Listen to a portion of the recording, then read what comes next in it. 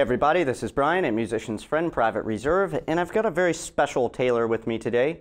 This is the Taylor Custom Grand Symphony 10580 Acoustic Electric.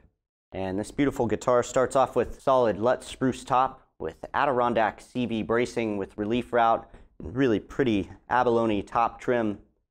Solid A grade flame maple back and sides with also this cool figured maple binding beveled maple armrest, as well as abalone single ring rosette with bound sound hole.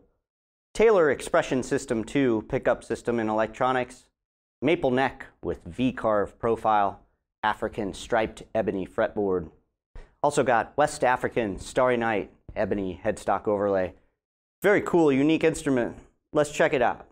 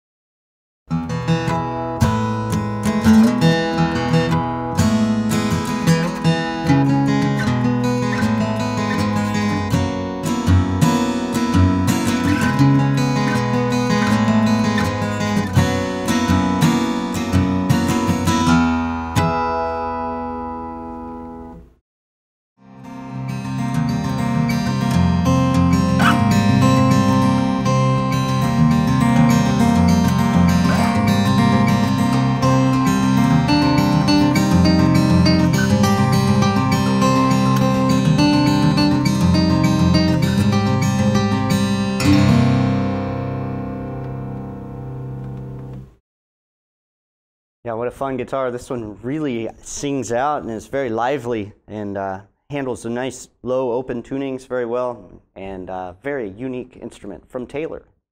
Have a great day.